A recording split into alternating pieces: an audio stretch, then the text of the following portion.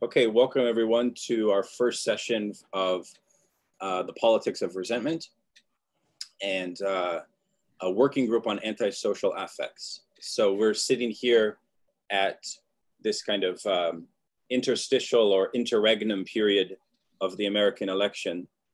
Uh, and we have half of the country mired in some form of resentment over the outcome of the uh, event of the general election. So uh, it's very obvious to any onlooker that um, the contemporary scene, uh, politically speaking, globally, from the resurgence of populism, whether that be right wing or left wing populism, um, even to the introduction of what is broadly known as neoliberalism starting in the late 70s, early 80s, has um, skyrocketed uh, a, a, new form of um, antisocial affect within civil society, within politics. So, uh, so, so with that, we, we also recognize that our interlocutors, the great thinkers that we turn to from the psychoanalytic and philosophical community, people like Herbert Marcuse, people like Lacan, people like Freud, uh, they come from a different time. They're not uh, subjected to the world that we are in, right? So we have to read them with a critical edge, a critical eye, right? We can't sort of take their doctrine as sacrosanct. Yeah? And so, in that spirit, I want to invite us to resituate our understanding of, of negative affects, of affect theory, of, uh, of even of resentment itself, right? So, tonight I have um, the following agenda for you. Let me pull it up here. Okay, so, so we have given ourselves a, a, name, which is the study groups on psychoanalysis and politics. This is sort of uh, a pandemic institution that has morphed and come into being. Um, and so you are all you are all members of this uh, effort. And uh, this is our the title of tonight's uh, agenda. So the first thing we want to do is we want to uh, make an account of this Nietzschean, uh, very famous, very important concept of, of not just resentment, but not, sorry, not just resentment, but resentment, this sort of, you know, deeper um, embedded form of resentment, which um, for Nietzsche uh, uh, molds the, the, the species being of the human, right?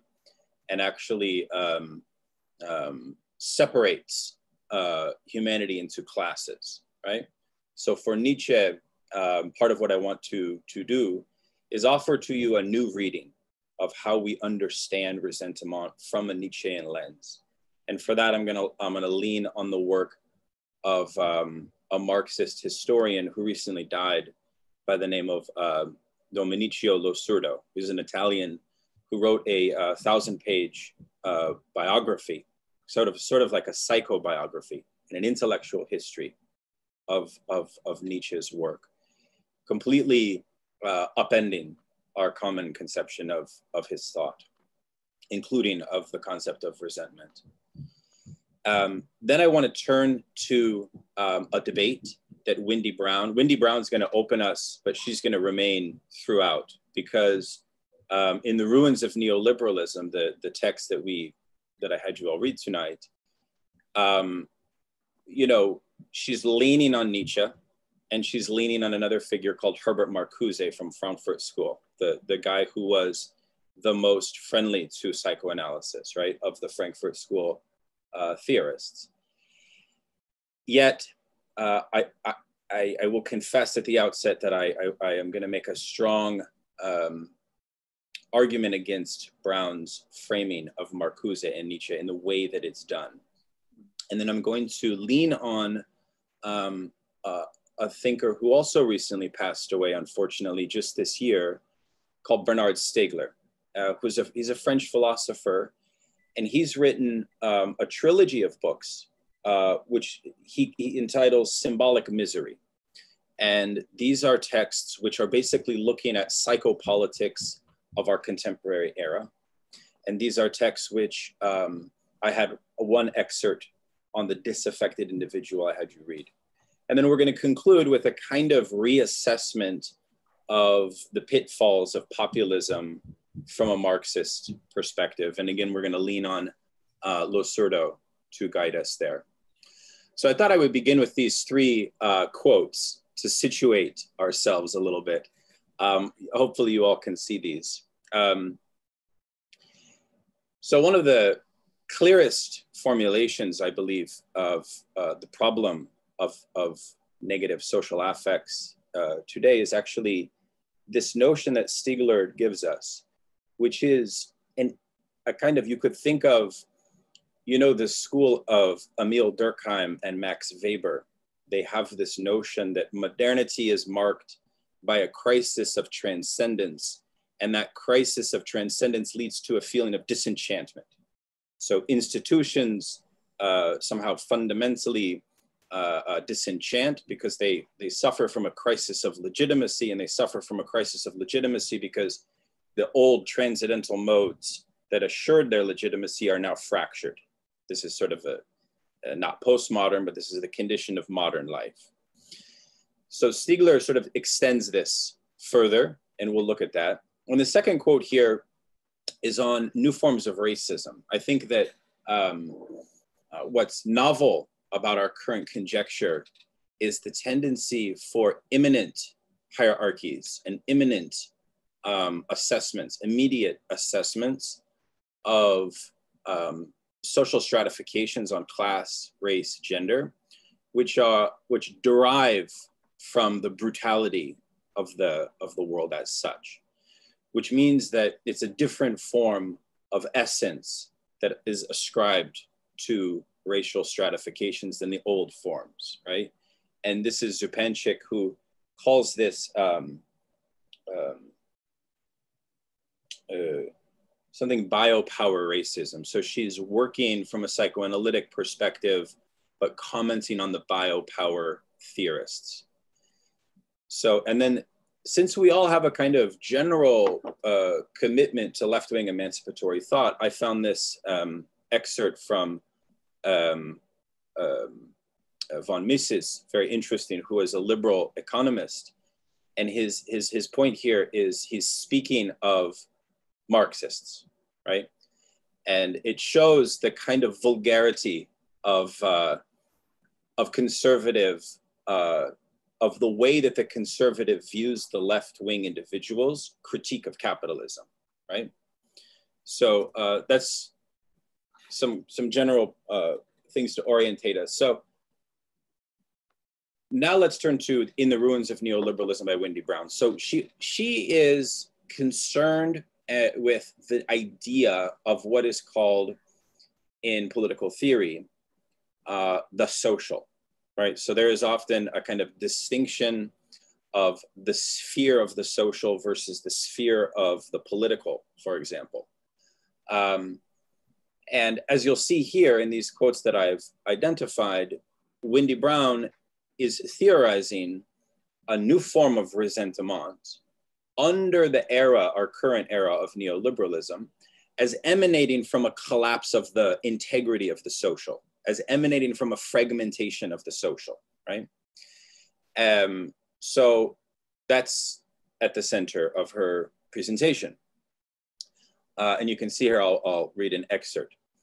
The social is where we as individuals or a nation practice or fail to practice justice, decency, civility, and care beyond the codes of market instrumentalism and familialism. So that's a key point because it's a key point because as you may or may not know from a Marxist perspective, the notion of the social or civil society one cannot quite as easily speak of it, even back in the 19th century, um, as somehow beyond market instrumentalism. This um, is sort of Marx's critique of Kant's what is enlightenment, which is that the uh, preservation of a private sphere where an individual's functional role can be um, non-significant and that you can sort of have a sphere of society in which certain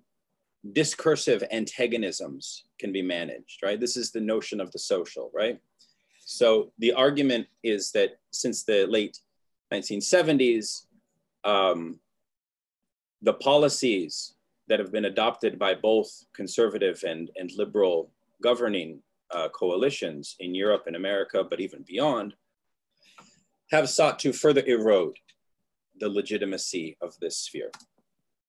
So one of the phrases that we're familiar with is Margaret Thatcher's society does not exist. Uh, one is also reminded of the nice overture to this from the recent Joker film. Um, towards the end of the film, he sort of uh, becomes a figure who embodies um, the, the cold nihilism of, of a world of total abandonment, right? So you could think of Joker as a figure who, in some sense, is precisely abandoned by the social, right? Like social workers are cut. He doesn't have the care he needs. His therapy is cut. He doesn't. He doesn't. Can't have his medication, et cetera, et cetera. So um, this collapse of, of, of Thatcher's notion that there are only individuals and families is her affirmation in about 1980, 81, something like that, or the year that I was born, in fact, um, and the year that Lacan died. The year I was born, the year Lacan died, and the year Bernie Sanders first became a politician. Um, nonetheless, you see the point here. It allows for a kind of new uh, uh, level of resentment. This is the key point. So uh, let's keep the, the emphasis on resentment in its relationship to the fragmented social, okay? And then of course, um, she's focusing in a very American-centered way, I believe, uh, by making, by marking the uniqueness of this collapse of the social around a collapse of the normative value sphere or the horizons of expectations precisely around white male entitlement, white male privilege, etc. right? So we can summarize some of these key themes for Brown in the following way. Um, prior to neoliberalism's assault and fragmentation of the social, one must assume that there was a type of harmony of the social. Yeah? um, and that it has now been dismantled, it's been fragmented. So therefore, I wish to suggest, and I, again, we have a policy, anybody can jump in at any time. Um, is it not an implicit claim, which I think is a, um, a, a, a wrong claim, frankly, that Fordism was a period in which the social functioned well. Um, I wonder if this is um, in fact the case, okay? Um, or was it not marked with its own repressions? Was it not marked with its own exclusions, right? Um, and degradations and psychic misery and so on and so on and so on. The other claim that she makes is that resentment is unique. Why? Because now uh, the new barbarians, as Stiegler calls them, the people that vote for Front National, the people that vote for, you know, Donald Trump and so on. I think it's a nice term for them. People of my own family. Huh? Um, they are uh, no longer subjects of resentment as she thinks Nietzsche claimed, because she reads Nietzsche as saying that the origin of resentment is unique because it comes from a position of weakness. And now the subjects of resentment are actually coming from a, a, a place of a loss. So they had strength, they've lost it now. And so that, that means for, for her, historically speaking, there's a difference there. And then I will also say that, um, as I said, vis-a-vis Marxism, this is a very different conception of the civil society than Marx would, would be comfortable with. Um, so therefore, I want to ask the following questions of you. Um, in what way did the social exist prior to neoliberalism? Um, is there not a type of nostalgia for a lost fullness or a lost wholeness of the social? Um, yeah, like was the social not marked by class antagonisms? Of course it was, no doubt, right? We have things like civil rights movement, we have things like anti-Vietnam War protest and so on. And we see that when we go to Marcuse very clearly. Um, and so I think that, you know, for those of us committed to the Marxist tradition, for however we understand that, I think it is at this point, these fault lines in Brown's argument, that we can assign her uh, inheritance, or influence from Michel Foucault. Um, in, in the sense that what Foucault is providing is a type of um, uh, conception of power which is based on norms and transgression of norms. And therefore, you see this idea that the social is a place for the management and the contestation of various norms, which then link to gender, race, and class. And then might we add that gender, race, class, and so on, none of those are thought to be primary. They all seem to have a kind of uh, equal relation to one another in terms of their potency, you see? And I would actually even further suggest that it may even be race, which for Brown is even more prominent than is class. And I believe this is the case because she's relying on a kind of notion that the Fordist period, the prior period to this neoliberal period, was one in which um, there was a kind of collective class stability, which is now in decline, right? This is something well known. The fact that the American worker has not received a, a real wage increase since the birth of neoliberalism is a, is a case in point here. So I want to pause there and just open it up to comments and anything.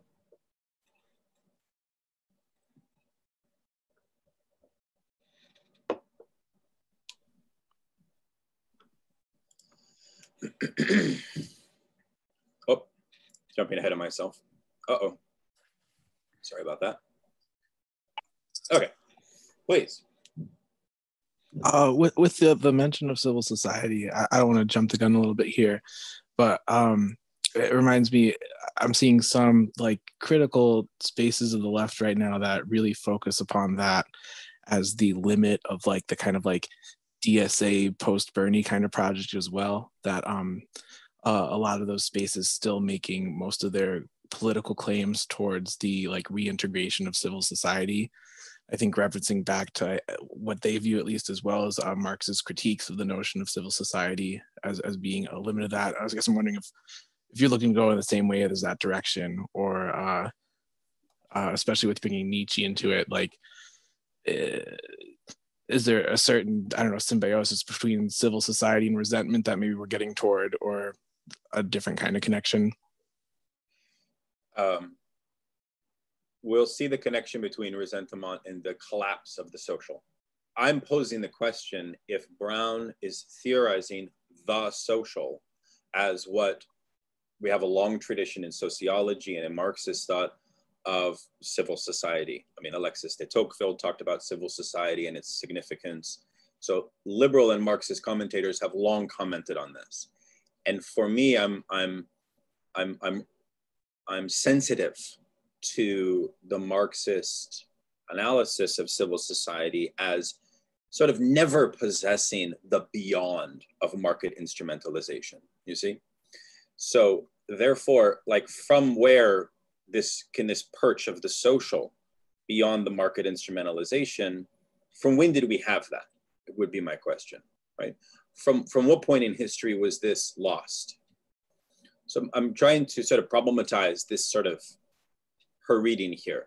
Um, but perhaps others that um, have a different view or, or maybe are more sympathetic to the kind of Foucauldian approach that she's bringing. Um, and uh, I'm not done with this analysis because we're going to go on to Nietzsche in a moment.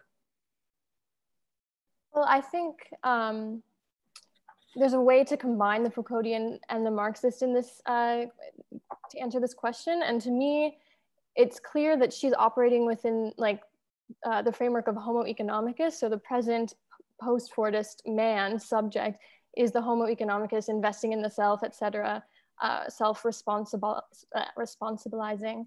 Yeah. Um, and so it seems like the inversion of that, or the opposite of that, is how she imagines this Fordist moment.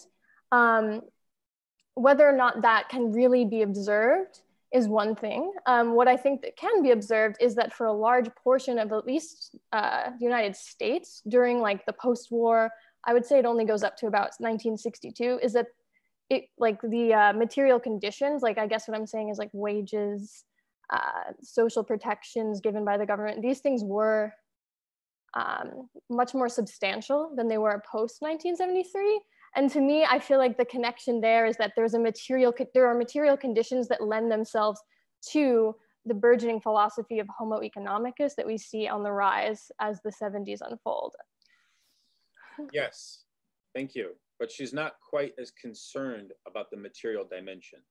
She's more concerned about the normative dimension, is my reading. She mentions it, it's a part of it, but um, it doesn't seem to be the primary uh, factor of what's at play with the crisis of resentment and with affective politics. Because what she's building up to is a sort of thesis, which is ultimately in support of, um, of Nietzsche and Marcuse, right? Um, which we'll get to in a moment. But I believe that the best way to read it is that this crisis of the social is sort of the primary, you know, I mean, she's not saying that the primary thing is this sort of material issue of wages. It's not really a question of labor for her, right? That's in the background. It's there, but it's not a primary, right? Right. So, um, so uh, the social uh, changed after the Second World War when intelligence and understanding and knowledge became very important. Thus, in Belgium, a law was produced uh, by the Christian Party and the Socialists, whereby everybody would get a grant to go to the university. I was the oldest of 10 children of a small farm, and my total expense, including books and food, was paid by that program. Mm. So the dimension, the understanding that advanced capitalism requires knowledge changed the dynamics of the social. Mm. That's helpful. I appreciate that. That's that's interesting. Yeah. Other thoughts? Well, look, I'll just jump in if I may. Um, the the thing that I, Daniel, the thing that you haven't emphasized so far, at least, is the way Wendy Brown links society to democracy. Yeah. And it's not as if she's claiming that uh, society was ever um, present in some idealized form. But what she is arguing, or at least what we might agree on by way of proceeding for the moment, is that the kinds of processes she's been talking about uh, occurring in the last 20 to 30 years have intensified the extent to which society and the social has been eviscerated. Um, and that carries significant implications for what we might call uh, expansive democratic, um, the realization of expansive democratic uh,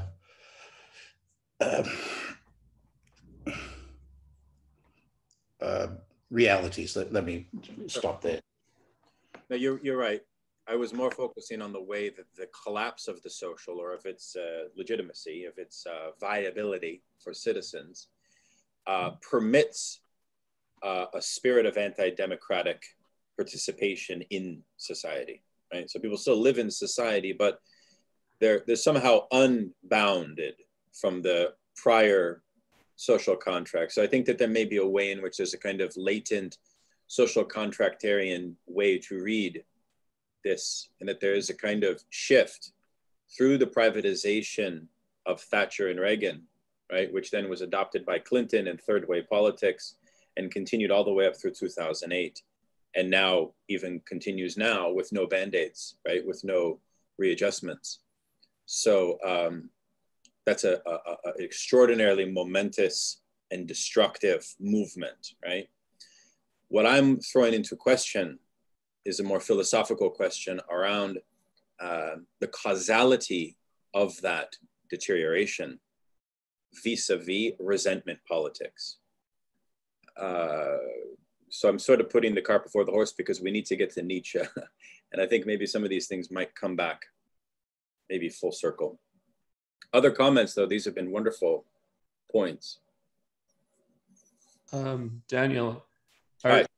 so Robert Putnam, sociologist, wrote the book Bowling Alone. Yes. Um, he's written a new book. I think it's called The Upswing, and mm-hmm. I'm I haven't read it, but it's uh, I'd I'd be curious to read it in terms of the of this you know theorizing the concept of the social. He's mm-hmm. just he's I think he's making the basic argument that America at one point um, like had uh, was more characterized by like a, a me culture. Then it go it there's this period that he says there is more like uh, like could be characterized as a we culture, and then it goes back to a very individualistic culture, characteristic of neoliberal neoliberalism. So I wonder if, uh, without being able to answer the question, like if his insights would provide any uh, anything useful. I'm I'm very familiar with Bowling Alone. I read that as an undergraduate, and then I'm familiar with his book on religion, which was very interesting, uh, where he shows that religious communities sort of maintained that Tocquevillian commitment to the civil civil society. I mean, obviously, de Tocqueville is the central figure of American civil society as a foreigner, as a Frenchman, witnessing the sort of radical power of American civil society. And as a liberal, he very much is congratulatory of, over this, right? So, in that sense, if we take seriously that liberal claim about this importance of civil society to the maintenance of, of American democracy or any democracy, one can see how tragic it is, especially in America, which prides itself on a vibrant civil society, to lose it, right? Um, and I think that Putnam is is um, no Marxist by by any means. Um, but yeah, I mean, I think that uh, what he's trying to do is find bright spots, right, on the horizon. You know, so I think that might be an interesting way. But I'm, I am bringing my own um, commitments here, right? My own my own my critical point of view. Mm-hmm. Um, so let us uh, let us look at how Nietzsche is presented by Brown. So she says very little about Nietzsche, but she frames Nietzsche in a way which I find um, problematic. She says, quote, uh, Nietzsche's profound account of nihilism was limited by his preoccupation with God and morality, as they were being challenged by science and reason. Nietzsche's account of nihilism, in which first God and then man is toppled as foundational sources of truth and morality, is inadequate to our present. Okay, so I think we can all agree that it's inadequate. But what I want to point out is is Nietzsche's account of resentment really about Christianity? And I wish to say to you tonight that it's not. So she presents these the following oppositions on Nietzsche. Nietzsche is a critic of uh, Christianity, from which the main engine of nihilism. And what is nihilism for Nietzsche? The, the godfather of nihilism. Oh, hi. This is my hi. daughter, Eva. She wanted to make a cameo, so this she'll be back later. Um, right as I get the most excited talking about Nietzsche. Um, the godfather of, of, of um, resentment is actually Socrates for Nietzsche. Nietzsche's first serious book was on Socrates. And uh, it's not exactly Jesus Christ who was the godfather of nihilism. And as you, as you know from genealogy of, mor- of morals, Nietzsche makes the claim that nihilism is fundamentally linked to the introduction by a plebeian class of demands for equality, first and foremost. Yeah. So it is the problem of egalitarianism, which is at the origin of any development of or demands of for egalitarianism. Um, so that's central. Uh, resentment is born from weakness, according to Brown. Uh, well, according to Brown's reading of Nietzsche, which she then says is then linked to a loss of privilege and entitlement. This is the key point I wish to make, which is that uh, for Nietzsche, in a post-French revolutionary period, Nietzsche lived in Germany as a young man as the 1848 worker uprisings occurred where Marx penned the Communist Manifesto. He then was um, very much moved in a negative way by the Paris Commune uprising of 1871. Um, he wrote a letter to a friend where he confessed this is one of the most tragic days of my life uh, to see what the communists have been doing on the streets of Paris. So um, uh, I wish to frame the question between resentment as class struggle within capitalism versus resentment as a kind of quasi-religious, because if we leave it there, then the issue becomes one of morals. And we leave it there, then it becomes discursive. As we have a different understanding of it, of its function. Um, okay, so those are some key points. Now, this is sort of section two of our of our talk tonight. And I, will read this following point here. It says, so what happens when you theorize resentment in a longue durée from the 19th century to the present, and you place class struggle, not a genealogical kind of religion and Christianity at the origin. This is the project that I've been interested in undertaking since I've engaged with Losurdo's aristocratic rebel, which is a complete uh, new reappraisal of Nietzsche. And he's giving us four general new ways to read the contributions of Friedrich Nietzsche. First is that uh, the idea of Nietzsche as a kind of philologist interested in locating nihilism and resentment in some ancient time is not a fair account when one actually understands the intricacies of his writings and of his um, ideology, right? He's extremely presentist in, in, in he even says that it was the Paris Commune which turned him into a genealogist because he wanted to find the source of resentment of the communards located within history, right? So they were modern so Socratic figures. The, the communards in Paris were contemporary uh, disciples of a tradition that was started by Socrates, continued on with Christianity and Judaism, found its uh, way through Descartes and Rousseau and Proudhon and Marx. But Marx is sort of an exception and a challenge because Marx is not a socialist, he's a communist. So, in that sense, Marx becomes very close to Nietzsche. The problem is socialism and its infestation within liberalism is the issue for Nietzsche. Liberalism must expunge the socialist influence. The key political concept for Nietzsche, the most refined idea of the Übermensch of uh, um, Zarathustra, is to create the conditions for a world in which the preservation of leisure time for an aesthetic class is enacted, right? Um, this is a, a, a Prussian, otium et bellum is a Prussian military slogan Nietzsche was conscripted uh, or willingly served to fight the, in the Franco-Prussian War of 1873. So um, this is very central to place these things. Uh, uh, and it's also very central to not uh, read Nietzsche's contribution if you are in any way committed to the left or any way committed to Marxism uh, so uh, religiously or nor normative based in my and this is my uh, strong opinion here so um, in fact Losurdo shows us that Nietzsche was a huge proponent of Christianity he was a huge proponent of Christianity in certain forms. If Christianity could retain aristocratic divisions and hierarchy of rank order it was actually better than socialism. Socialism was a problem because socialism allowed for the expression of new needs, of new desires, of a class which must remain in uh, labor for the surplus extraction for those elite overmen who can produce culture. This is of central importance. It is the case for Nietzsche that slave society, feudal, and capitalist are in essence the same thing. Um, this is why Nietzsche was a huge proponent of the South during the Civil War, right? He saw this as a very momentous event.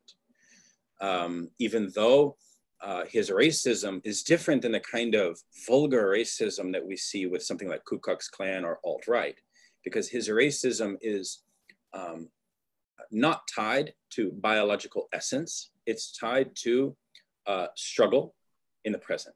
So his vision for an ideal society would be one in which imminent struggle can determine uh, rank order, right? So that the uh, Chandala class or the slave class, it's, necessary to have forms of slavery for Nietzsche, uh, would be um, imminently determined, not based on some kind of vulgar biological essence. You see the point? This is his big debate with Wagner, right?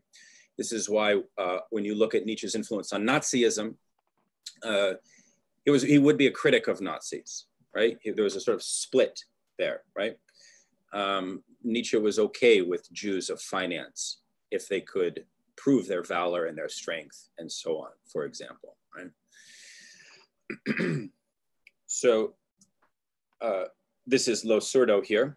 Religion is a key to the maintenance of aristocratic order.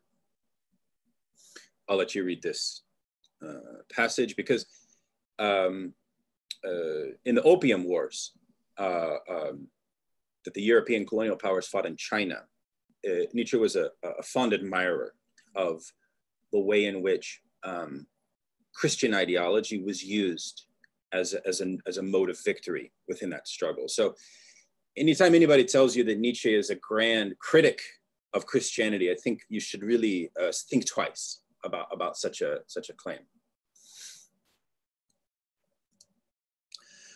And then I'll also note that uh, the, the, the true uh, uh genealogy of resentment should be read uh, uh, imminent to the struggles of his time, right? The, the, the moral spider the, the, the, the, the true uh, problem starter was Rousseau. You have to understand that Germany was occupied by France in the Napoleonic invasions. Yeah? And it was the Rousseauist impulse of egalitarianism which Nietzsche perceived as a total assault on the German spirit, right? So any instantiation or expression of Rousseauism uh, was on par with so- so Socrates as such. So by no means was uh, Socrates some timeless other figure. No, there were real Socratic instantiations in his time which propelled his thought, you see. Um, the other thing that we should note with Losurdo is that uh, liberalism uh, was also very much uh, the cauldron of ideas from which Nietzsche pulled from. And that a lot of people, I think, are not quite as aware of the spectrum of liberal thought as it pertains to critiques of socialism and as it pertains to critiques uh, or support of colonialism and support of slave systems. So when reading The Aristocratic Rebel, one is quite struck um, by that interplay and by the similarity that a figure like Alexis de Tocqueville would have with Nietzsche on the question of colonialism. Because the issue with colonialism for both Tocqueville and Nietzsche was the issue that the working classes in Europe and the degradation that they were undergoing presented a crisis, yes, of nihilism, of values, and so on, but of purpose. So sending these boys off to Africa and Indochina to fight would imbue them with a new spirit. This was something which was held by Mill, the great liberal Mill, right? This was something which was held by de Tocqueville and Nietzsche alike, right? He was very fond of one another's ideas in these, in these, uh, in these ways. So uh, that's my little uh, hot and heavy Nietzschean interlude. Uh, any questions before we move to Marcuse? I, I, I did uh, include like a quite long excerpt, which gets into a really interesting uh, contrast between Marx and Nietzsche on ideology from Aristocratic Rebel. Um, I don't know if anybody got a chance to look at it or if anybody has thoughts on this in general, because I think you see the point I'm trying to make, I hope. which is that we should be very careful about how we place the crisis of values when the crisis of values for Nietzsche were from the get-go tied into a crisis brought on by the introduction of the Jacobin egalitarian project and Rousseauism, which supported it, and then which was gaining intensity after 1848 and 1871, right? So um, I'll stop there.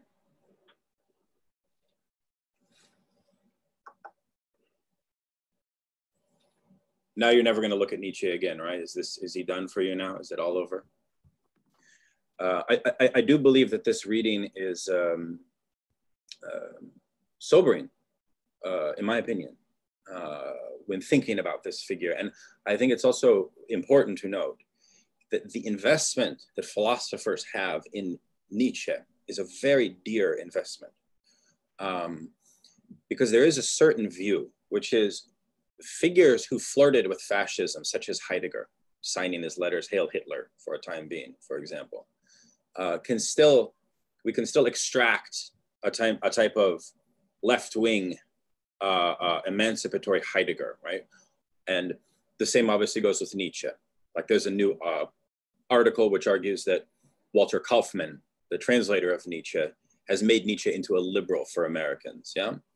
Um, and so, so therefore there's a kind of jouissance that liberal philosophers have with Nietzsche. So when I present this argument to them, they do not want to hear it. It's, they don't have anything to say, but they definitely don't want to hear it, right? Okay.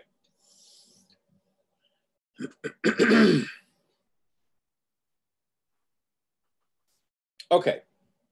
So repressive desublimation sounds like one of those academic terms which the right wing will make fun of us for for ages and ages to come. Um, however, my, my, my point for you now is just to highlight some passages where this concept is introduced in One Dimensional Man, his Marcuse's text.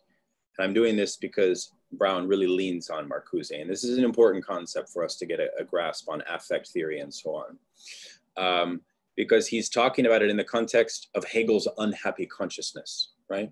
And he's talking about uh, the idea of negation and negativity, right? So he's talking about the way in which modern industrial society has lost a certain sphere of transcendence, which would allow individuals um, to effectively instantiate a sublimation, right? And a sublimation is a kind of aesthetic concept, right?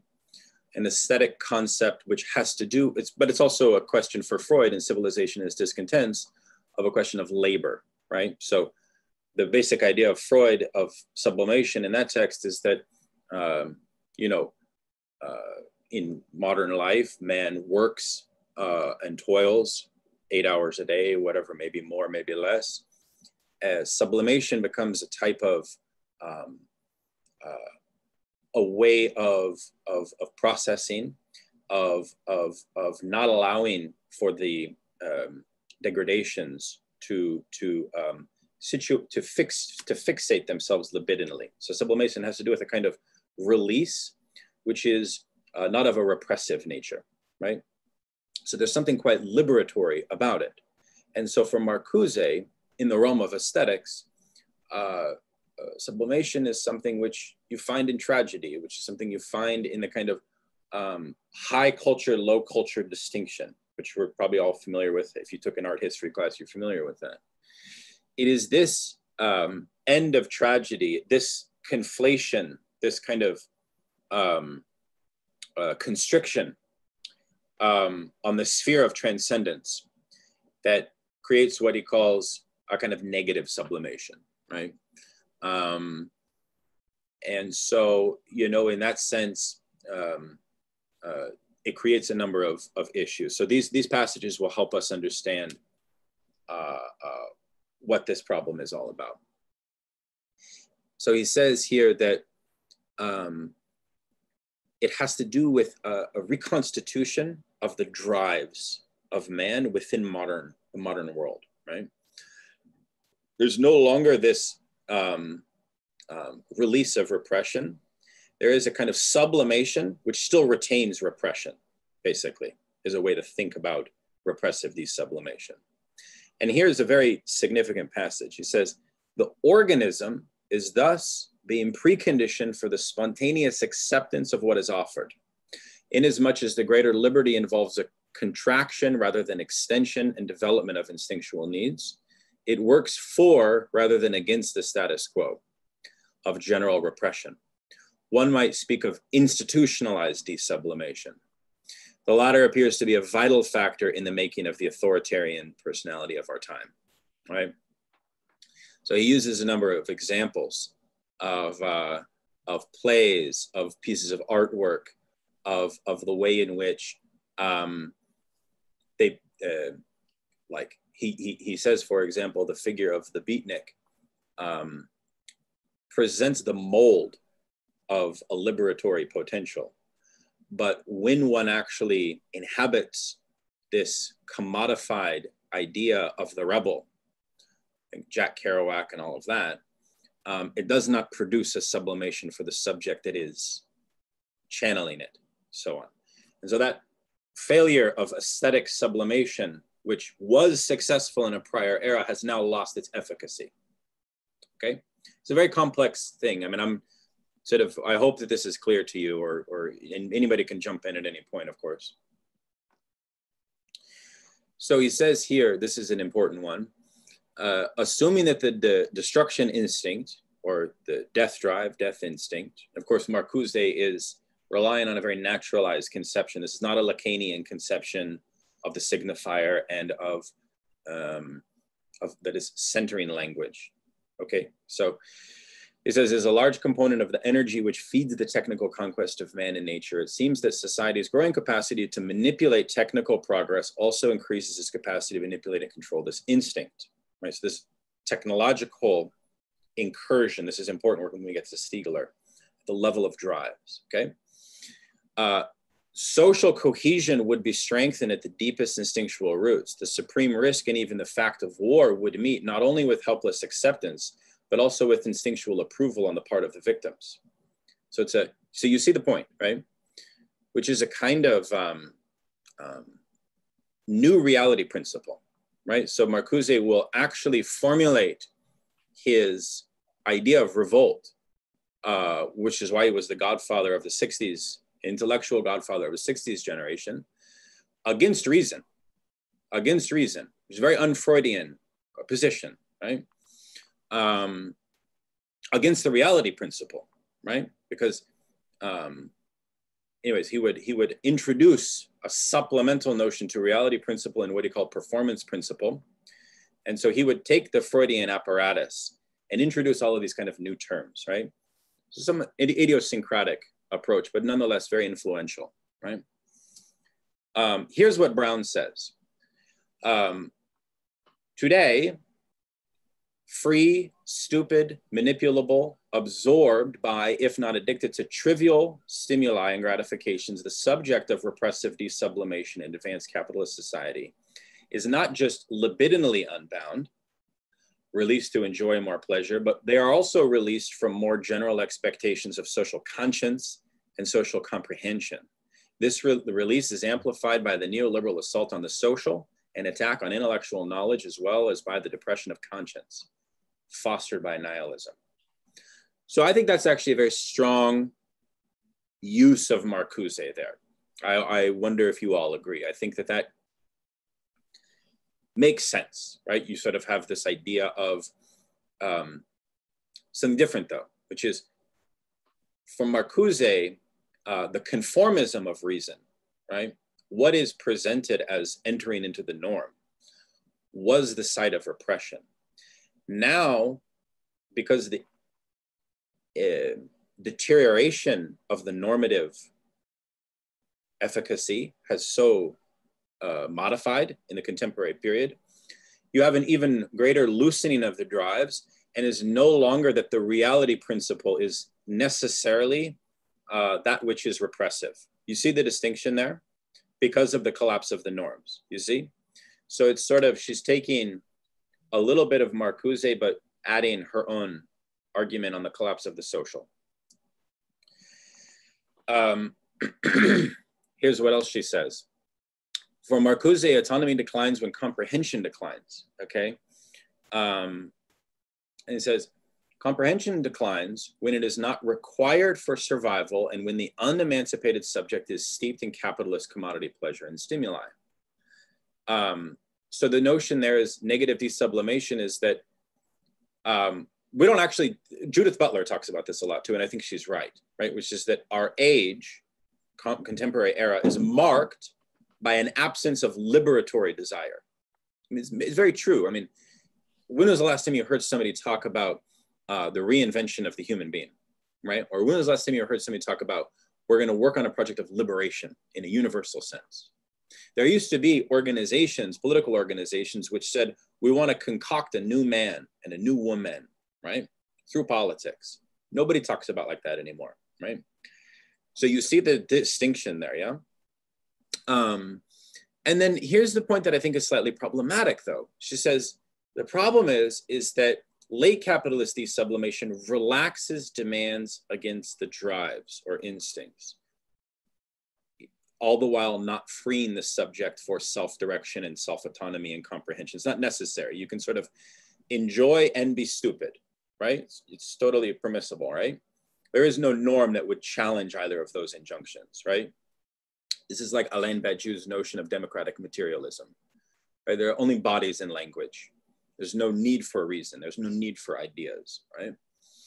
Um, what I want to point attention to, and which I think Stiegler helps us with, is the notion of relaxation of drives. I don't know, I don't know what that means or demand to drive. Maybe some of our psychoanal psychoanalysts could help us with this distinction. But so let's summarize here. Number one, Marcuse identifies reason with repression, opposite from Freud, I think, which is desire is a kind of, of motive. reason as desire is motive, right? So there's no Freudian politics that would be opposed to reason or sort of anti-rationalist. And I think this is a problem with Marcuse's project, which is becomes privileging aesthetics, maybe privileging myth too much over reason. That's a whole other point. Um, and then here's a summary of Eros and Civilization if you haven't read it. Um, the notion that makes Marcuse a hippie is the idea that there exists a kind of naturalist pleasure principle, which is in abeyance, right? And that through revolt, we can achieve some kind of touch of the, it's quite nice, you know, if you think about it, like kind of sublime, you know, let's all do a big bonfire in the woods and sort of realize, you think like acid communism is a kind of variant of this notion of missing pleasure principle. And maybe I hope he's right, actually. I would not mind such a project, especially because nobody proposes them today. Um, okay, and then here I've, I've made the point about drives because Stiegler is going to give us a different view on the way that late capitalism relates to the drives. Um, and then, of course, uh, apropos nihilism, yeah, what makes it post Nietzschean, in her view, is that the resentment is not converted into mor- morality. So there's not a sublimation of morals here from the resentment, right? There's a defectiveness there, right? Um, and this actually leads her to make really nice points, I think, which is that basically man, humanity today has no project other than a project of permanent revenge, right? And, and what is produced is an affect, affective condition just run amok, right? I think this notion actually is very telling when one looks at the Trump coalition at this precise moment that we're meeting, right? Um, what else is there other than revenge that's at play? I mean, it's the primary thing, right? Um, okay. So let's pause and before we turn to Stiegler, let's open it up to any questions or comments. Uh, I was thinking a little bit how Brown using Marcuse in that uh, repressive desublimation, but that the contemporary stage, the the lack of necessity of comprehension and and just sort of a um, that overlap of non-comprehension enjoyment. It seemed to me like that was maybe overlapping a little bit with um if you're familiar with Alfie Bown at all, he does some like Marxist Lacanian stuff on video games. uh, I think what he sometimes refers to like um, a, a certain like pre-Oedipal subjectivity that's produced in like the the uh, generalized like video game subjectivity somewhat where it's just like the like um like gamified mechanical like pushing of buttons and receiving responses like without having to have like a comprehension towards what even is occurring within the stage. Sure. That's helpful. I, I, I think again i don't mean to uh, go too hard on brown. She's brilliant theoretician please i mean of course i just wanted to problematize a few things right and i think the way she incorporates marcuse and nietzsche kind of works, but other parts don't, right? Um, so, okay. Bernard Stiegler, again, the Symbolic Misery series, you can see the image of, uh, is brilliant. It's absolutely brilliant. And if you look at this book here, which is called The Lost Spirit of Capitalism, uh, which is uh, uh a part of this uh, multi-volume series. Uh, half of the book is a critique of Marcuse. Okay, so for those of you that really like Marcuse or really want to find a way to discover why he's wrong, I think Bernard Stiegler gives us the sort of best indication, in my opinion. So let me just show some axiomatic points for Stiegler of our contemporary conjecture. So he talks a lot about how in our contemporary conjecture, um, we have a loss of the superego entirely. He also talks about how desire is absent today as a result of algorithmic over control and so on. So there's a kind of um, collapse of desire as understood in the traditional sense in which that which is beyond calculation, right? So there's a kind of um, incapacity, which is why when he says lost spirit of capitalism, what he's really saying there is that in order for uh, not exactly a communist revolutionary kind of thinker, okay? He actually has the general argument, if I could sort of put it in a clear sense, that we need to return to a slightly more stable version of capitalism in order to more properly negate it. Because in his view, we are too affectively disoriented now in neoliberal order to actually do anything, right? So maybe that's like um, an unappealing proposal for those of you that are more maybe convinced of a more revolutionary uh, approach. Uh, but that's how I read his general politics. Okay. Um, so, and he calls our era the reign of the drives. And, and this, this is why he, he, he refers to the reign of the drives as having such primacy. And I'm going to get into um, in a moment why they have such primacy over social life. Okay. Um, so he says, quote, uh, for beings without desire find their drives loosened and set free. Society is no longer able to contain such beings through repressive measures, nor can it contain the regression that unleashes these drives. So that's a very important point there. The whole apparatus of Marcuse, of authoritarian personality, of the centrality of repression is, is no longer uh, have efficacy, okay? Um, this is another beautiful point he makes, which is we have a crisis in the Freudian distinction between primary and secondary narcissism. And there is a kind of fundamental stunting of what we can, in general terms, call the development of self-love, right?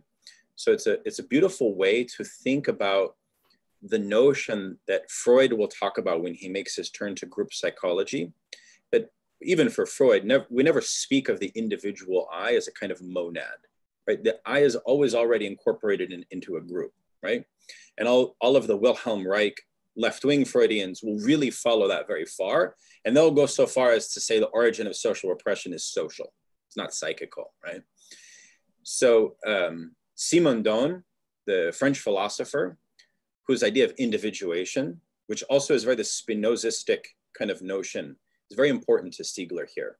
So he takes a psychoanalytic and a Simondonian approach to present this notion of a new form of narcissism, a new crisis of narcissism, um, a new crisis of narcissism, which is somehow preventing humanity from forming community or from, from having um, healthy I-we relations, right?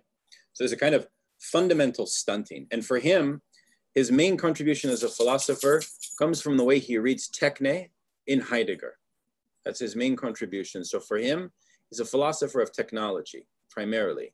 And so he's going to make a point that what he calls retentional apparatuses in late capitalism have are at the core of this aesthetic stunting, right? Which is why he's very interested in sublimation as an aesthetic problem, right? Um, so therefore, society, the problem is that we can no longer love ourselves, right? Which I think is a very nice, accessible way to describe the problem of our world, right? Um, she says, post 70s capitalism, the self increasingly fails to form an interior self love, and therefore attempts to form um, communities are therefore stunted. And this actually introduces the problem of the social and of civil society and Putnam and all of that, right? Um, and this is a very striking uh, point because it links to his thesis of the liquidation of desire, right? Um, so uh, a world, a world in which desire is no longer operative is a world that can no longer love itself, right? Um, so I want to lay out a few very clear solutions that I believe Bernard Stiegler is giving us uh, uh, in general okay, from, from what I've read of his, of his work in this area. And he's written widely on many, many different topics. Um, he gives a name to the, um, the um, right populist cohort. He calls them the new barbarians. And, and he refers to them as affective victims, which I think is an interesting way to theorize them. Um, and he makes this point that um, the issue is one of political love right? That, that we must reintroduce this kind of Aristotelian notion of philia, right? Of a civic love, a social love. And he advocates a kind of cross partisan dialogue, right? And I think for a lot of Marxist thinkers who are very kind of, you know, brazen, this is sort of uh, maybe naive. I don't know what you think of it. Um, number two, uh, it makes this argument around technology and algorithmic systems of control. You could think social media, but many others, of a theory of, of non-identification, which is something I've written about and it's, I think, quite interesting. And then he has this notion of a, of a, of a movement from the reign of drives to the play of drives. Good night. Good night. Um, so this kind of um, kind of Agambenian notion of, of play and the innocence um, as, a, as a new theory of sublimation, right? So these are some general things if you want to do more research on, on Stiegler. Um, he's, a, he's, a, fascinating philosopher. And unfortunately he's died uh, just a few months ago. Um, uh, but he's a brilliant, brilliant uh, figure. And I think what, what I like about including him here is you know he leaves some of the missing things of Marcuse. Because remember I said at the beginning part of the problem of our world is we rely on thinkers who existed in a different era than we do now right? Stiegler is an incredibly good thinker of the of the contemporary. So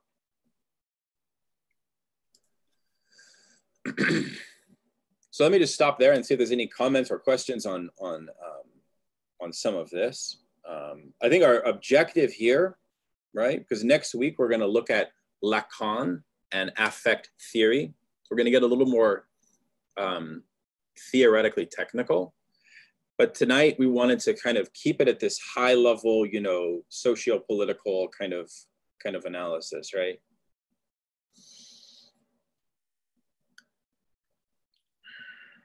Um, Daniel, I'm kind of interested in how you see the difference between what Stiegler is arguing and what Wendy Brown is arguing about, um, like kind of a return to a, a, previous stage when things were more stabilized or when we could uh, be, you know, more rational or more able to judge. And because um, the more I read Stiegler, the more I think, I mean, I, I understand the idea of individuation of what he's talking about, but is that not also harkening back to a principle of individualism in a way or um, or or as that being the place where the unique comes from or where difference um, initiates itself.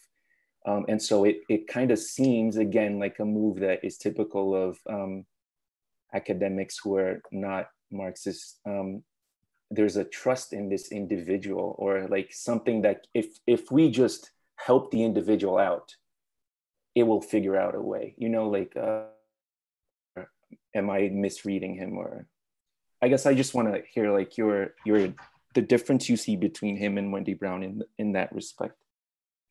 You know, to be honest, I don't think that there's much. I don't think that there's much. I think that Brown is coming from a very unique American academic perspective, which is why she's focusing so much on race and so on, and the kind of American civil society.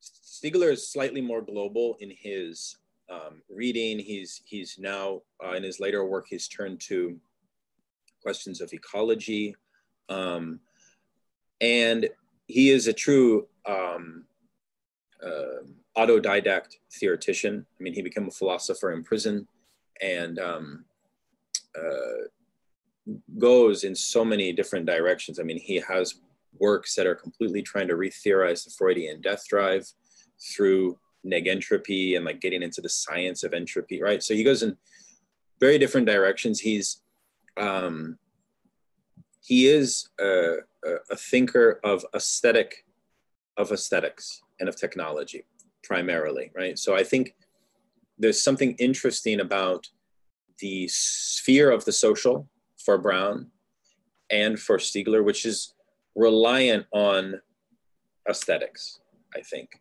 is one of my big kind of takeaways from a lot of this reading, right? Because um, part of the causality of this affective crisis, um, if we accept Brown's argument, um, you know, is that it is an aesthetic that sort of, or maybe the way in which it is best addressed is through aesthetics, if we want to rationally, philosophically address it and so on. I don't know if you agree with that contention.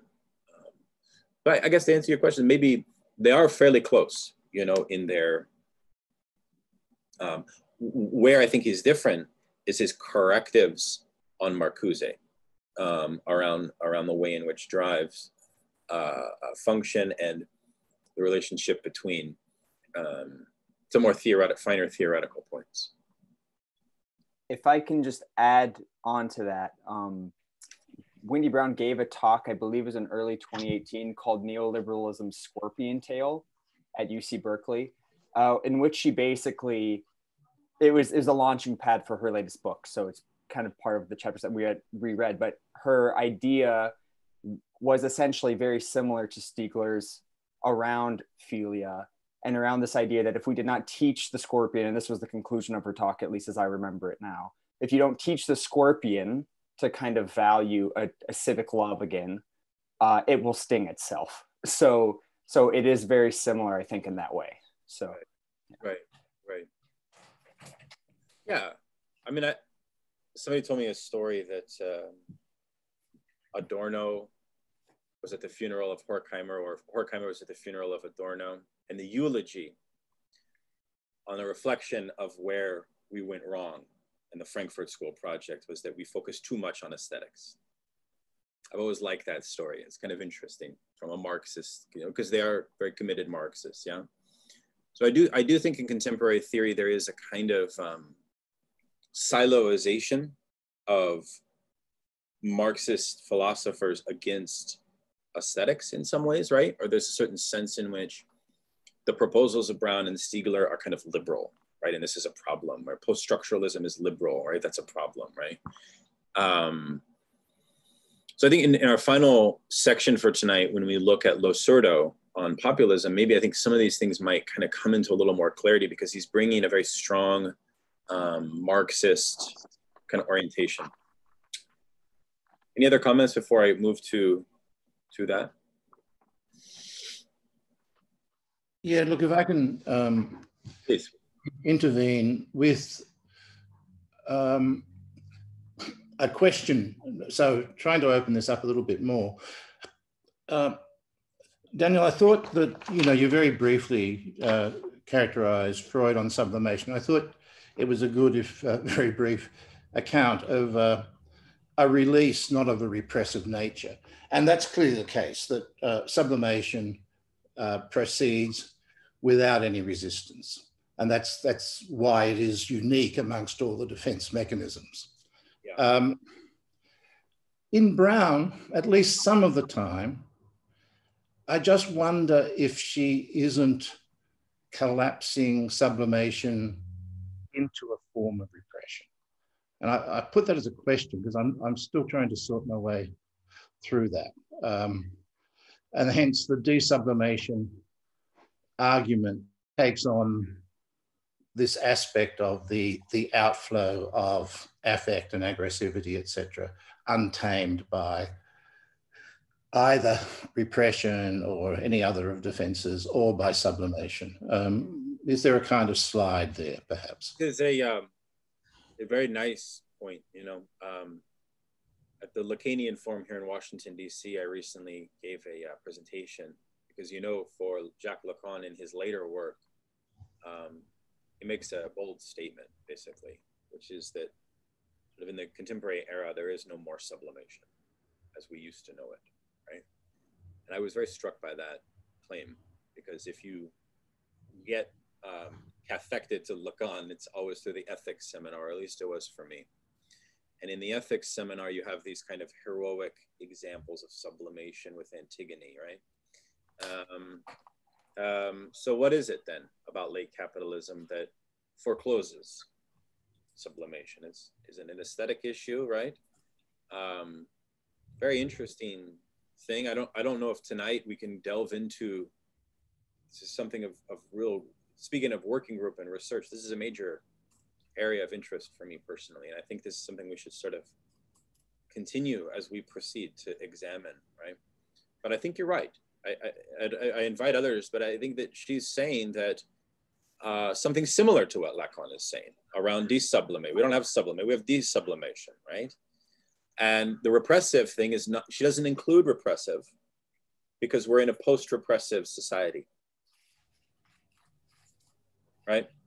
Mm-hmm. But what I'm concerned about, and maybe somebody could help us here, is what does she mean by relaxes demands against the drives? I'm actually, I confess, I'm slightly confused about that point. Maybe, Wilfred, you could help us understand the distinction in psychoanalysis between drive and demand. Drive would be uh, uh, the energy that uh, comes. Demand is a first expression of uh, the energy. So you are hungry. The child wants to eat, uh, but uh, in a demand, it wants, it asks the mother not for a regular bread, but for, in Belgium, a Sunday bread. That means a, a white bread. Uh, so the demand is a request for an object of need that one does not need, but that one asks to see if one is loved by the authority.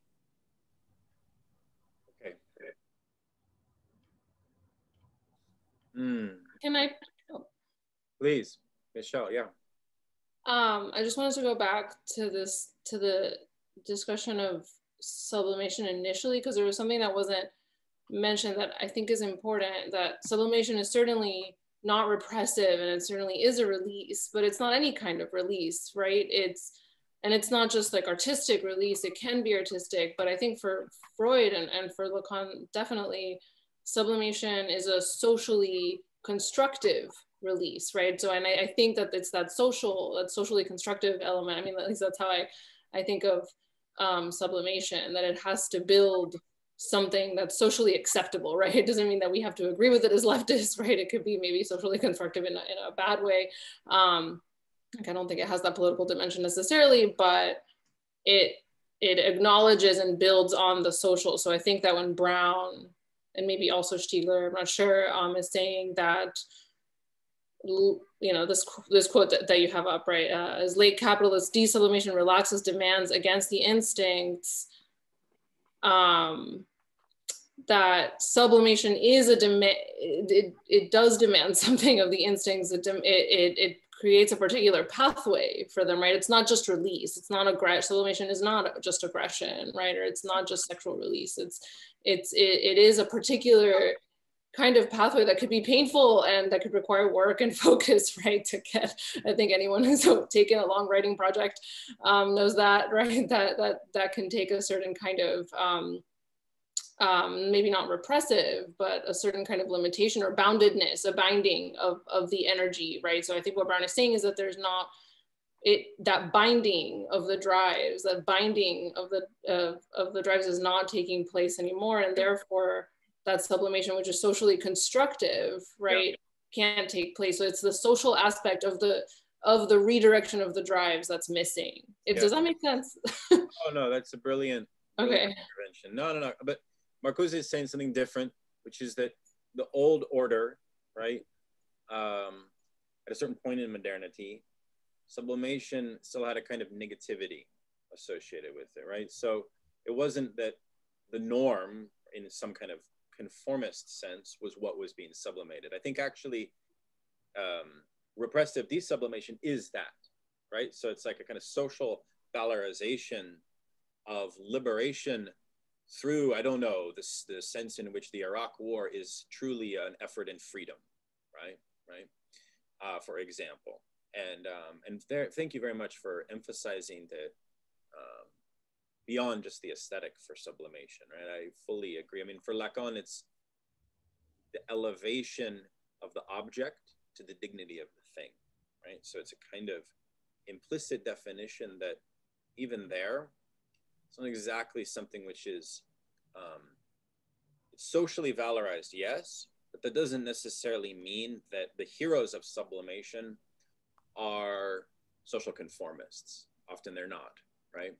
often they're revolutionaries and libertines and so on. So I would maybe say it's creative rather than necessarily aesthetic. Maybe. Okay, fair enough. Fair enough. Yeah. Thank you. And Wilfred, thank you for your uh, uh, def definition of demand and drive. That that is an important distinction. Mm -hmm.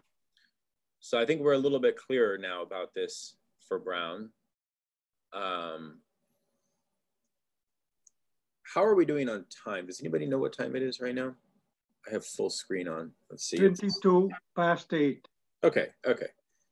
So we're doing pretty well. Um, if I may, I wanted to move to, because the, title for tonight was on populism, right? So I took an excerpt from Losurdo's really interesting book on the history of class struggle. I don't know if anyone's read that book or familiar with it, but I took um, I think it's chapter 13 on, on his analysis of contemporary populism, but also populism even because um, he reads people like Proudhon as populists, right? And Simone Weil as a populist, right? And Hardt and Negri as populists, right? So he has a kind of expansive definition of what constitutes populism, which I find kind of refreshing. And he gives us three forms of populism. Um, and I think here we could even present a kind of provisional definition of populism, which is that populism conceives of class struggle not as the normal state of social life, as would a Marxist, but as an exceptional moment happening at a morally privileged moment. Okay. Um, and here's a nice uh, point here, which is the idea of populism, one of the kind of through lines, is that um, the salt of the earth are elevated as possessing a kind of moral excellence, right? So, what I find interesting about this is that all of the things we've talked about so far of the demolition of the social and the incapacity of morality and so on, right? This new form of nihilism, right?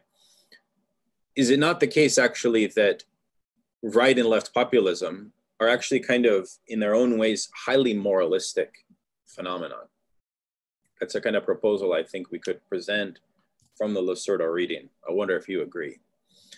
And here he's critiquing Simone Weil's understanding of class struggle, which give a lot of excerpts from her work where what was at issue, and this was similar also to a figure like Gandhi, was those that undergo the most suffering, kind of qua suffering as an end in itself, are the ones that, um, uh, in the context of the struggle, are the site of the contradiction, right?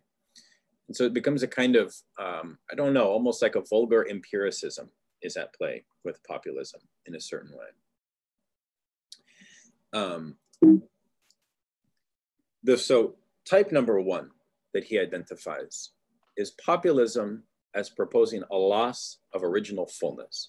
And I like this because isn't this exactly what we are confounded by with Stiegler and Brown around Fordism and neoliberalism? Isn't this notion exactly one of the issues on the left today, which is from what fullness have we lost, right? Or not? I think there's a certain tendency for a Marxist author to say, well, you've never had fullness. you know, sort of you're marked by class throughout, you see? Um, so uh, then here, resentment of the populist. This is very important. I think if you if you live on Twitter, left-wing Twitter, you'll see this very clearly. Resentment is driven by a sense of lost wholeness, right? So, quote, the more large-scale industry subjects agricultural sectors to its control and destroys artists. This is this is Marx talking about the condition of the lumpen proletariat around 1848. Okay.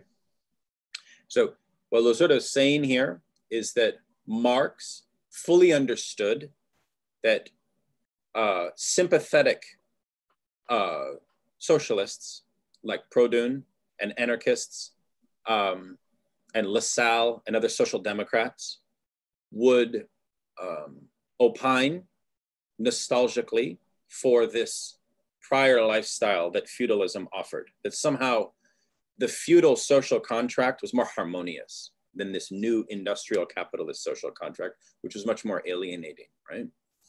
And Losurdo wants to suggest that Marx um, was, was completely antithetical to this, right? The second type he identifies as what he says transfiguration of victims of the present as embodying moral excellence, right? So the victim is the antithesis to the culture of violence and domination, and they embody that difference in the present. And the example he uses here is Gandhi. And in this book, he actually makes an interesting uh, point which is sort of that Gandhi, in a certain way, is a sort of origin of contemporary identity politics. It was a successful identity politics, but the notion was was the liberation of the Salt March and the whole um, protest against the British in India was um, premised on the notion that the uh, the ism, the essence of of of the Hindu, you see it you, that, that it was that those sort of um, points of excellence which would be responsible for their success in overcoming their oppression. And I don't know about you, but do you see this a lot as well with certain fetishizations of the American working class by certain left wing populists, right? I wonder what you think about how this notion works with right wing populist ideology. Uh, do you see this notion of moral excellence um, at play in right wing populism. I think what's interesting about Losurdo, what I like about him, is that he's offering a critique of left wing populism, not so much right wing populism. And then, um, um, of course, the Manichaeanism, which I think we're all familiar with with populism, which is sort of its one of its original, uh, maybe most popular understandings, right? Um, but what's the problem with the Manichaeanism? And this is a nice point apropos Christianity, because he says very nicely that when you are a Manichaean about treating the poor or those below the mendicants um, as the vessels of a kind of untainted moral excellence, what you're also doing dialectically is you're shutting down um, the possibility of their transformation, right? So I think there's a very interesting mythical dimension at play there, where it's kind of a, a distinction between rationalist and mythical. So popul- left populism becomes somehow tainted by its allure of the mythical, right? And one can think of the way in which many left leftists um, today look at the the condition of the American proletariat, especially with the neglect of the, the deaths of despair, uh, through maybe such prisms, through such lenses. But that's maybe something we could debate. So, from a Marxist point of view, therefore, I think I've identified these three problems, right? um, of populism that he identifies. And the number one uh, issue, I think, is maybe from in my mind the most important, which is that when we have a conception of uh, class, which is actually not based in class struggle, which is completely different than the populist understanding, you also, you also foreclose solidarity. Um, because for Marx, the working class is something that's invented in struggle. It's not something that empirically pre-exists sociologically as a category. Populists have a quite static understanding, I believe, in that way. It's very sociological, right? Um, and then, oh yeah, I've already mentioned this mythical anti-rationalist. Um, um, so I think that this is interesting for us psychoanalytically, especially because Lacan will stress a lot of the danger of conceiving of the subject as a center of wholeness. This is his whole critique of ego psychology. So I think that when one extends that to a political psychoanalytic framework, one can quite easily see how the populist conception of, of the issue in front of us um, leads to certain dead ends. And my my proposal here is that maybe what Brown is missing is a critique of populism, right? And maybe this is actually something we need today, right? Which is kind of imminent critique of the way in which the populist conceives of the antagonisms of our world, right? So this is what I gather from the Losurdo reading. I think it's spot on. I'm very much in favor of what he's saying. Um, yeah, I, lo- I love this third point, right? Which is populism ultimately becomes a kind of anti-revolutionary point as well, right? It's kind of um, um, yeah, a non-dialectical account of social strife, social struggle, and so on, right?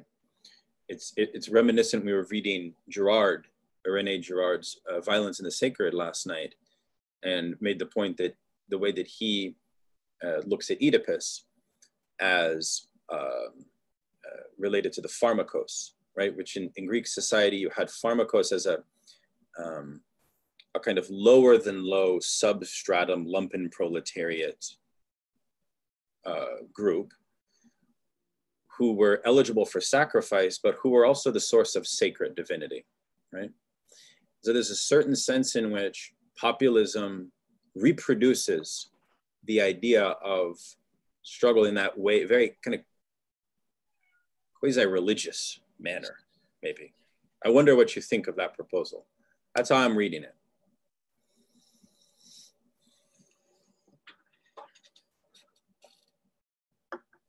So could, could I ask a sort of follow-up question about that? Um, Please. So are you sort of saying that one of the major takeaways here is something like, you know, don't don't ontologize the difference between the people and not the people and or also don't ontologize the difference between proletariat, lumpen proletariat, capitalist class? Like, is this a, a matter of perspective on reading categories in relationship to one another? Uh, you know, and and I guess maybe does that then put it like, if there's like three ways of thinking about populism, right? It's like ideology, or style, or political logic. this seems like that's more in the kind of political logic school. Yeah. Oh, sorry. Uh, yes, I, I, think that's very fair. I like use on ontologization. I think that's fair. Um, and I think he's pointing to the danger of precisely doing this. And he's wanting to preserve a less static epistemological understanding of both antagonism, but also of the formation of class struggle. So if the Marxist view is rationalist and opposed to this mythical ontologization, that means that it um, uh, has to have the kind of flexibility, right, to imminently compose solidarities of class. Because one of the things we've seen, I believe, in the quarantine period with the general election and Black Lives Matter is a kind of triumph of the liberal ruling class to foreclose working class solidarity in America around certain signifiers, right? So there's sort of a, um, um, a great success that's going on, almost even a repressive success of the ruling class in terms of what is even possible for the proletariat to do in America, right? For example, it's not you're not permitted to speak of class, right? In most institutions, right? Um, that's a great triumph of, of ruling class ideology that they've been able to, to, to concoct that, right? So solidarity is actually made impossible. I mean, I've spoken to many people from the baby boomer generation who say, look, the lesson of Bolshevik revolution is that, and what happened after, is that there is no solidarity between lumpen proletariat and working class. Forget it, right? Totally off the table. And I think a lot of people looked at the Trump general election and are saying the same thing, right? And that itself is an ontologization, right? So I'm very inspired by Losurdo's um, advocacy for solidarity. I don't know if that makes sense. Can I jump in briefly? Um, um, so, uh, just in terms of, of, Brown, Wendy Brown and populism, um, her her book on on walls and walling, on desired and desiring walls. Um, one of the, I think the the nice points she makes about those who have an investment in the building of those walls and the policing of them yes. is um, the term purity the purity that they're seeking through uh, that uh, practical as well as symbolic identification with the building of the wall. Um, so I think there is a kind of um, ref- there, there, there is a concern with those kinds of populisms in Brown's work. I guess is what I would yeah, suggest that's that's helpful. I didn't. I'm, I've never encountered that work of hers. I know that several folks in our meeting are actually like researchers in populism. So I wonder if I invite others to jump in on this. Um, and I confess that Losurdo is giving, you know, a Marxist critique, right? But I think part of the reason we wanted to assign that reading is because um, maybe it's good that we make an inventory of the shortcomings of left-wing populism. Like we we can critique right wing populism very well, right? Anybody can, right? But can we critique left wing populism, right? And does left wing populism have a future? I mean, to me, at this moment, I'm almost more convinced that right wing populism has a brighter future. Yes, but like in France, it depends of the of the leader. Uh, if you're not a good leader, it's quite difficult. I, I can see that as the left left populism in France, uh, Mélenchon, it's terrible for the for the left side, really terrible for the left side in France. And um, so that, that's a big problem, and that you you know really a big problem. And um, also.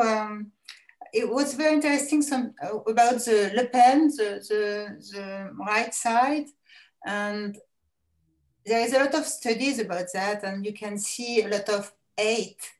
The people hate, and um, I I read I uh, wrote a note because I don't know if you understand me very well, but um, yesterday there is a very um, very interesting uh, um, psychoanalyst Cynthia Fleury, and she talked about uh, resentment And um, I think it's very important now to talk about the resentment because she says that the people, we can't fix, the people can't fix themselves.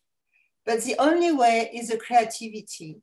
And I think, I don't know, but I think the, the, the populism, a lot of, you you can see a lot of hate from the people, a lot of resentment, and it's difficult to fix that. So I think the, the it's, and also I think in France, the problem with the left side, it's, it's the end of the communism. And the communism was, for the people and for the workers, was really a hope.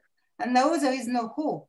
So it's, it's, it's very difficult, you know, I don't, and um, also I think the humiliation it's a, is a big fact. And I think um, what I heard, it's um, the, the intellectuals, they don't like intellectuals generally because um, I think they, they, feel they feel in uh, humiliation, and um, and it's difficult to fix it. And uh, so I agree with the psychoanalyst. You you, I think you have. The, the, it's not because I like art. I think the creativity it's it's it's a very a big big deal and big point. Thank you, Sylviane. That's really nice. Uh, reflections. Thank you for that. Um, it's interesting, Mélenchon is different than Bernie Sanders because Bernie Sanders is the most popular politician, I think, in, in America. Yeah. But he has, not to use a, a strong term, but he's institutionally castrated, right? He has no power, right? They insist he has no power. But he has a kind of um, inspirational power, right? Which yeah, yeah. But the the left are exhausted with the just mere inspiration and this kind of it's very condescending, right? So um, there's a real sense that left populism needs to be completely reimagined, in my opinion. Um, do others agree with this? Other, please jump in. Anybody? I, I listen uh, Bernie Sanders and. Uh, I was very enthusiastic by what he said. But for me, it was much more, it's very far away from Mélenchon. It's much more like a Rocard, uh, who was the left side. It's, it's, here the people think he's very, very extremist. And I don't think at all, it's not extremist at all. So I don't understand why the people say it's extremist. Is that not at all? I right. think he, and I think he can bring some, uh, he can he really brought some dreams and that's, yeah. that's I think. Absolutely. Yeah. Um, yeah, so I think it's, you mentioned hate and this kind of affects of the, pardon my dogs, uh, run amok, right? This will be really uh, useful for us to read Lacan's television um, where he talks about affects of hate and love. And it will also be useful for us to get a, um, a grip on the Lacanian theory of affects because it's a very different way of theorizing affects, which is counterintuitive, but very different than how I think many of us have studied the, the wider um, affect theory that has really taken off in academic circles since the 1990s. So Lacan will give us a fresh way. And for me, what I want to start with next week, and Samo uh, Tomsic will be with us as well, but we want to give um, a brief presentation on shame because the affect of shame. Yeah, shame. Is, yeah, yeah. Uh, uh, uh, I think the most uh, significant one for Lacan. Okay. Um, and if we look, and I'll give an excerpt of the other side of psychoanalysis seminar where he addresses this issue. Okay. And I really think that we talk about hate when we think about populism and so on. I'm not as convinced that it's as like clear of an affect or as um, central or primary, right, as to what's actually thing. So that's a little sort of flavor for next week. And Rathika, who's with us, is also going to facilitate next week, and so we'll have a kind of discussion on all of that uh, next week as well. Um, so So I have I have kind of a question because as I was going through um, these three types of uh, populism, and I was wondering, could we say that any left tradition that's ever lived has not had some kind of populism within it, like uh, like Maoism? Wasn't that didn't that also um, feed off of these um, the logic of the peasant, for example, or or even Trotskyism with um, its opposition, the left opposition, like as being morally more um, adept to the communist project than the Stalinists, for example, which I know Losurdo like wrote his book about um, Stalin and things like that. So I'm I'm wondering if a left politics at, is possible without at least speaking to these very logics of what um, Losurdo is calling populism, or I don't know. It just seems like this is this is part of the very nature of trying to um, create coalition as well, right? Um, I don't know. What do you think? Oh, well, I'd love others to jump in, but I think Losurdo makes the point there about Hardt and Negri too, apropos the way they look at Palestine and the moral righteousness that he reads, I think in a nice way.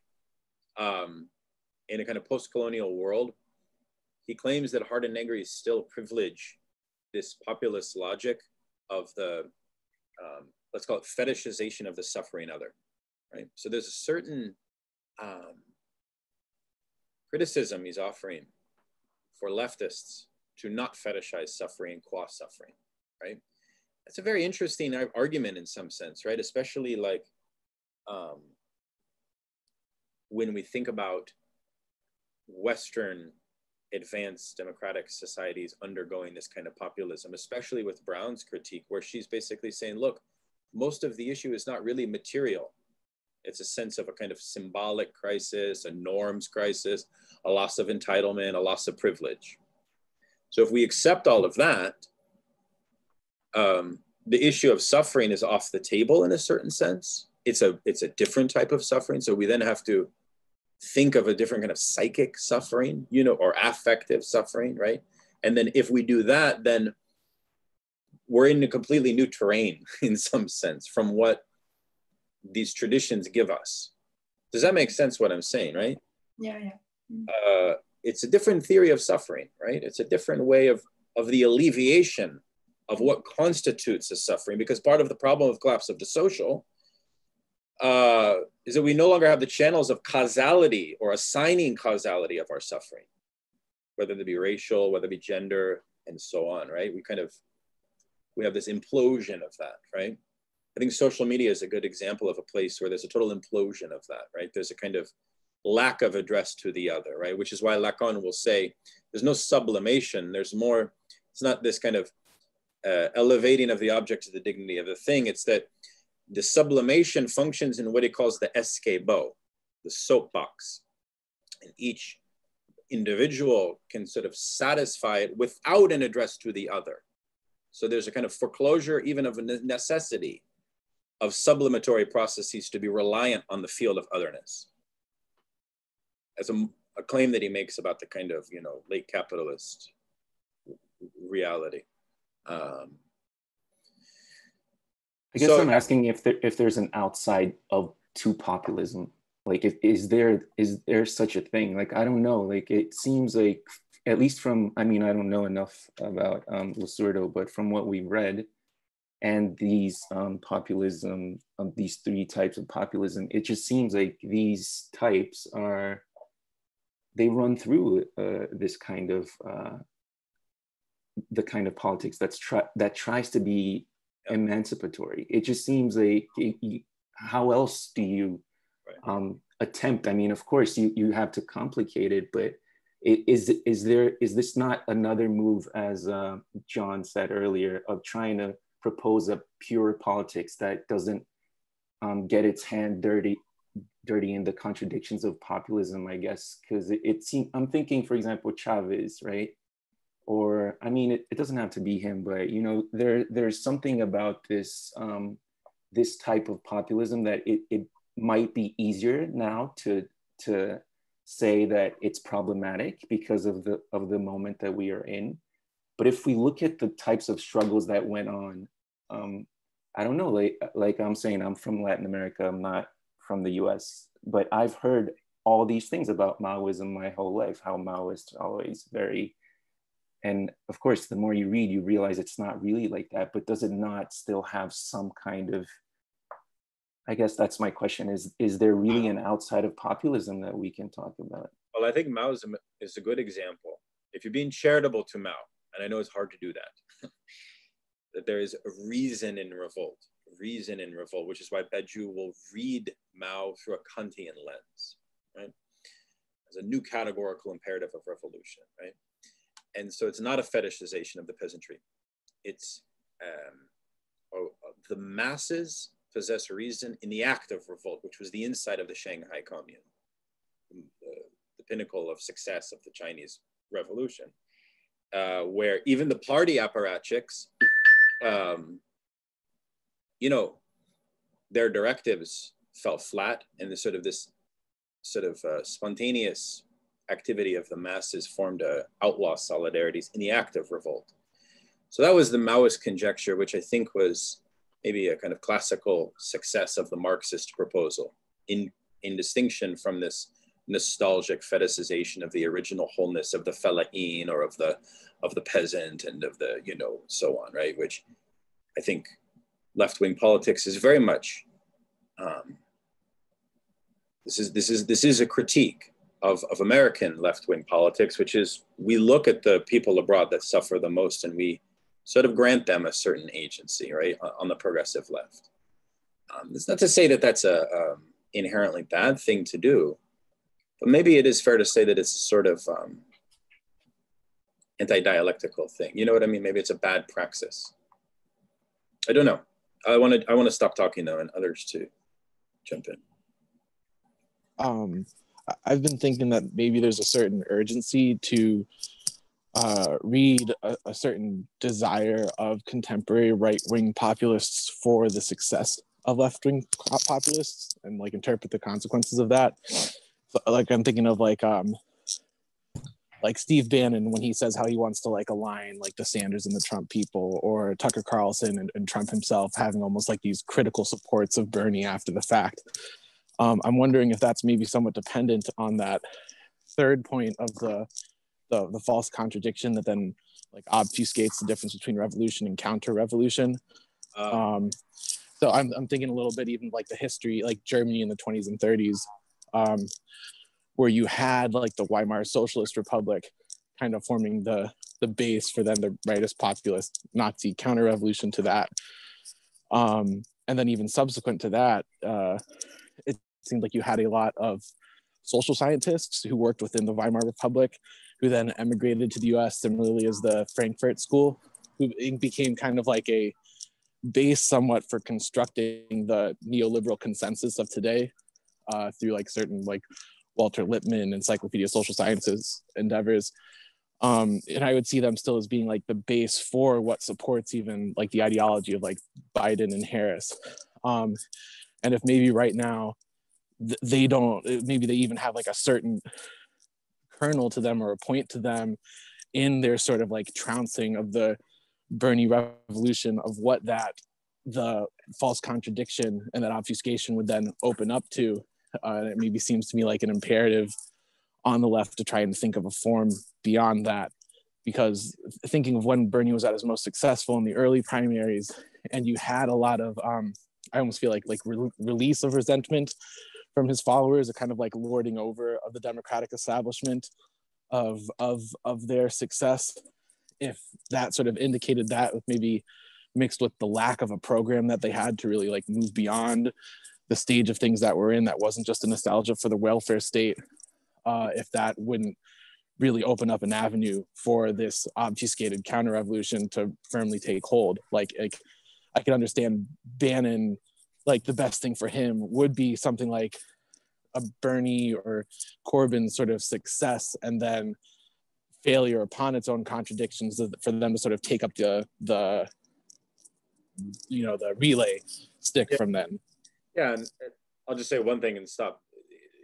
It sort of problematizes Brown's, as Levi was saying, and the Stiegler's argument of philia, dialogue with the barbarians, right? It's very difficult to propose that right now. uh, in America, you know, uh, and what would that even look like, right? Uh, it seems to me that there's a sort of uh, fear that if, if one does go down that road, it would lead to counter of right reaction, right? Instead of, I mean, there's there's a small movement of, of left populists that are trying to do that, that are saying actually, as a Marxist, we should be pro-Trump to um, further continue the immiseration of the bourgeoisie, right? And they're it's sort of beautiful theory of resentment that they present because the idea is like let them be even more humiliated than we are right? Let their humiliation quantitatively exceed ours. Then we win. Pure revenge right?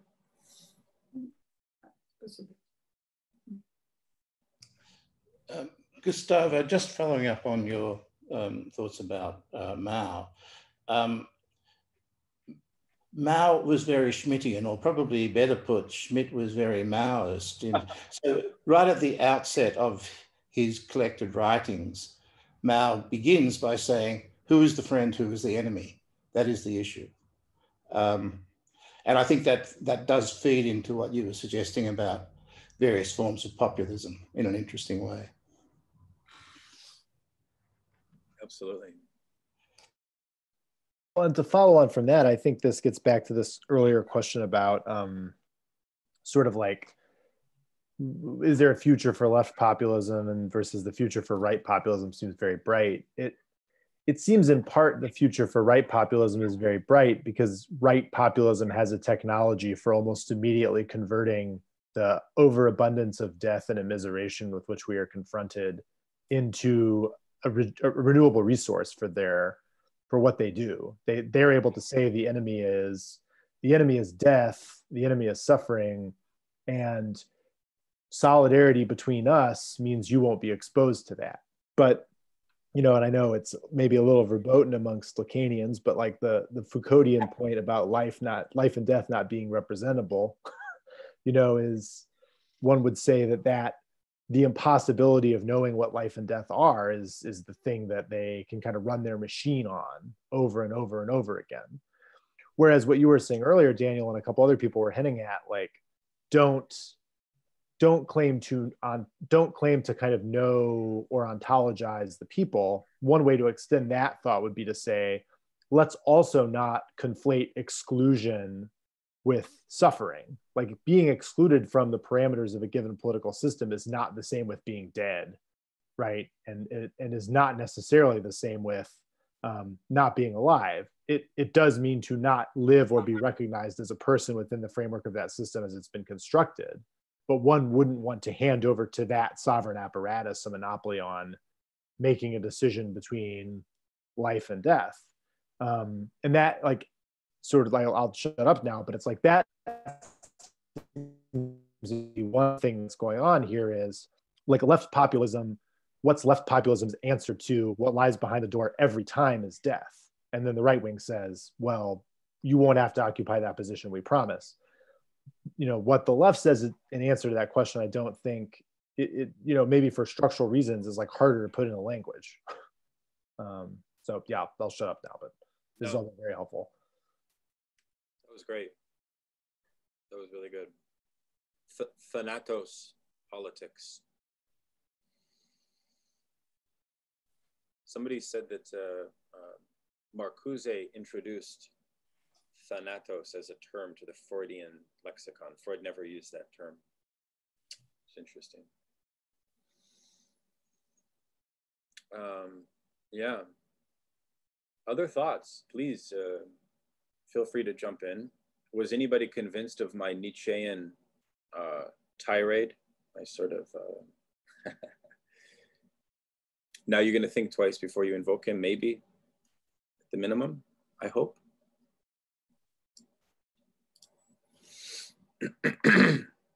um, yeah, Nietzsche as pro Christian is a wild idea. It is, I agree.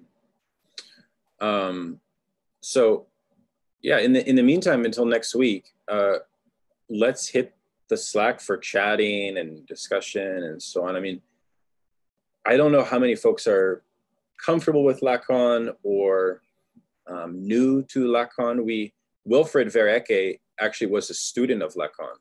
Um, and he uh, is uh, the founder of the forum, which is uh, founded by Colette Soler. And Colette Soler, um, her book Lacanian Affects, I have provided an excerpt of that in the Dropbox. She's an excellent um, student of Lacan and practi- practitioner. So that's an excellent excerpt to really, we're talking about, you know, Brown and Marcuse tell us, and Stiegler tell us that the issue is this kind of, you know, unhinged affects run amok, right? So then it's really interesting to interrogate the structuralist Lacan, who would privilege the signifier over affect. And so then what does that then mean? You know what I mean? Um, can we still actually speak of a logic of the signifier? This is actually something Samo, you'll see in the description of his talk, because um, one of the things he's really been big on lately is a return to the structuralist Lacan, right? Not so much the late Lacan, but the kind of Lacan of his prime, where the signifier and the logic of the signifier is central. So, you know, it'll be a really interesting point of contrast, I hope. And, um, you know, hopefully uh, we'll work through Lacan patiently uh, next time. Um, Daniel, I just wanted to suggest uh, for those of you who maybe don't know, there's, I'll put it in the Slack as well, but there's a um, YouTube of the entire thing of Lacan reading or reciting television. Um, and it's truly amazing if you've never heard him speak to, uh, you know, sort of listen to the text because obviously the French has all sort of psychoanalytic assonances that, you know, his little jokes and gestures and wild screaming sort of gives the text another dimension. So if you have time to check it out, um, you know, I, I recommend it and I'll, I'll drop it in the online thing too. Thank you, Ruthie. And thank you for volunteering to um, help facilitate. Uh, yeah, yeah, no worries. Also, it's, it's, it's Rithika, by the way. Oh, Rithika, I'm, I'm sorry. okay. It was my best guess. I should have prefaced by saying I hope that I'm. Um, um, there's another reading we have from Joan Copjec, which we'll put up there, um, which is quite good on Lacan and affect theory. If you want to take a look at that too, um, we'll, we'll, post it on the Dropbox as well. Um, yeah, okay. Uh, I'm happy to conclude unless there's any other comments or clarifications before we. It's really nice to be with you all, spend Thursday evening with you guys. Um, hopefully, you're all staying healthy and safe. Uh, yeah, it's scary out there with this, uh, at least in, well, really everywhere. So um, it's a good time to read. Yeah. Hmm. This is a bit of a selfish request that if anybody has any like readings on um let's say like uh, eternal return and death drive like how they interact with repetition that like go beyond Deleuze uh if, if anybody knows anything like that could throw it in the slack would be really appreciated there's Zupančič's the shortest shadow on nietzsche from a psychoanalytic standpoint which would be very good. But i'm sure you're familiar with that. Um, okay well um, thank you. And thank you to you. we'll see you in seven days. Adios. Thank you.